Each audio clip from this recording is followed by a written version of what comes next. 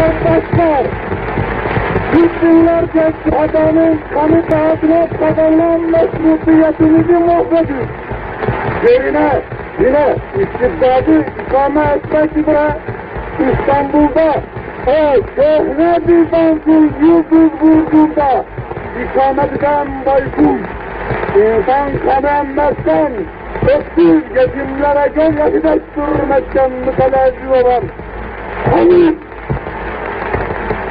600 senelik muhteşem, muzaffer bir milletin tarihini, ecdadının namusunu lekeleyen o insan kıyafetindeki canavar, İstanbul'da arzu taburlarını ifade ettirmiş, para mukabilinde namuslarını satan o alçaklar da şair muti askerleri depremde kalan isyanlarda iştirak ettirmişler.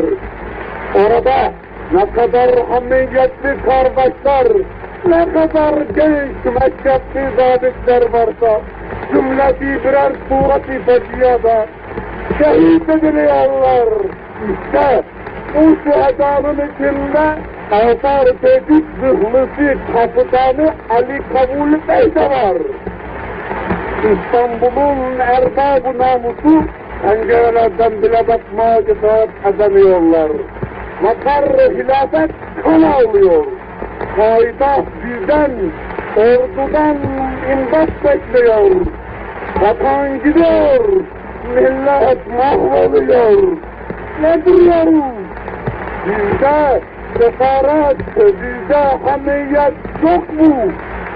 İşte ben tekbir serbetini ordunun masarifi itfaiyesine hayatımı, hayatımı da vatanına feda ediyorum. Hürriyetin istisali benimle beraber İstanbul'a girecek ikimizde kaç kahraman var. Paşa, kumandan hepimiz gideceğiz. Cümlemiz sana tire olacağız. Kanımızın son damlasını vatanın meşrutiyeti istisali için dökmekten, uğurdan güle güle can bilmektir. İstina bilen içimizde bir kişi yoktur. Hepimiz hazır emrinize muntazırız. Öyleyse ordu marşını çalarak ay!